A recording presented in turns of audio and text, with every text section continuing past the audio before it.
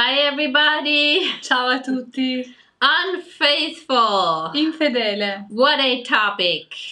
Che argomento? I'm Susanna, and this is Trilona Lei è Susanna e io sono Trilona, from Resurrection Life Church in Switzerland. da Resurrection Life Church della Svizzera. Unfaithful. Infedele. I'm not sure how many movies have been made with this topic, Chissà quanti film sono stati fatti con questo argomento, but it does not seem to be a good word, right? ma non suona una buona parola, vero? Let's look at some scriptures. Vediamo un po' le scritture. In Luke 16 10 through 12, the Bible says, If you are unfaithful in little things, you will be unfaithful in large ones. But if you are dishonest in little things, you won't be honest with greater responsibilities.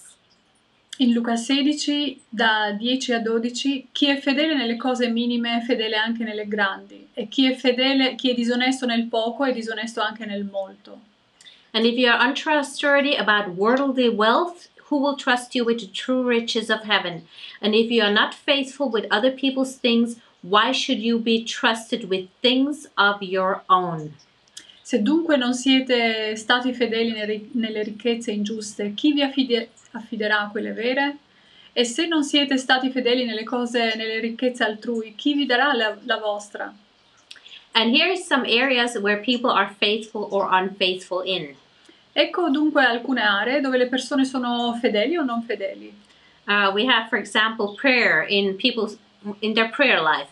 Ecco per esempio la loro vita di preghiera. Some people are faithful with their promises, some are not. Alcuni sono fedeli alle loro promesse, alcuni no. With money, Ad esempio con il denaro. some people are faithfully on time, Alcune persone sono fedelmente in tempo. Uh, and some people are not faithful at all when it comes to time or dis- or appointments. Altre persone negli appuntamenti non sono per niente fedeli. Some people are not faithful with someone else's time. Alcune persone non sono fedeli col tempo altrui Or some people are faithful with their responsibilities and some are not. e alcune persone sono fedeli con le proprie responsabilità, alcuni no.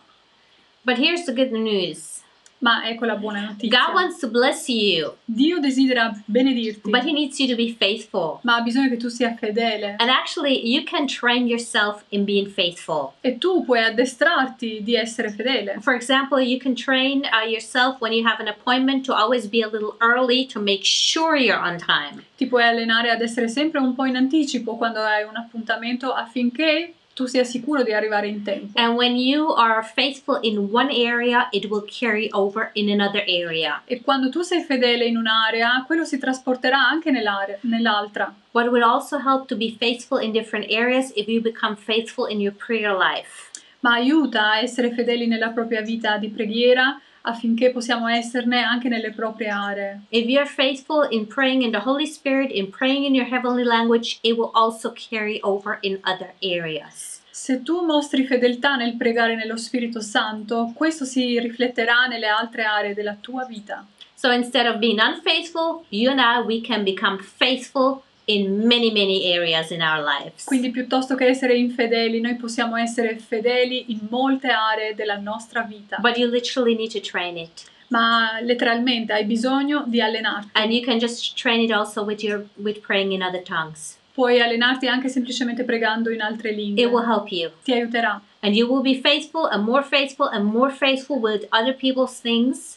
E tu sarai fedele, sempre più fedele nelle, altre, nelle cose altrui. And God will entrust you more and more riches. E Dio si affiderà di te, si affiderà di altre ricchezze per te. But not just earthly riches, spiritual riches. Ma non soltanto di ricchezze terrene, ma anche spirituali. With the power of the Holy Spirit. Con la potenza dello Spirito With Santo. spiritual gifts. Con dei doni spirituali. God wants to give us so much. Dio desidera darci così tanto. So let's pray in the Holy Quindi Spirit. preghiamo nello Spirito. Let's be faithful in our prayer lives Siamo fedeli nella nostra vita di preghiera. so that it can carry over into other areas. affinché si possa riflettere nelle altre aree della vita. Thanks for watching. Grazie per averci guardato. See you next time. Alla prossima.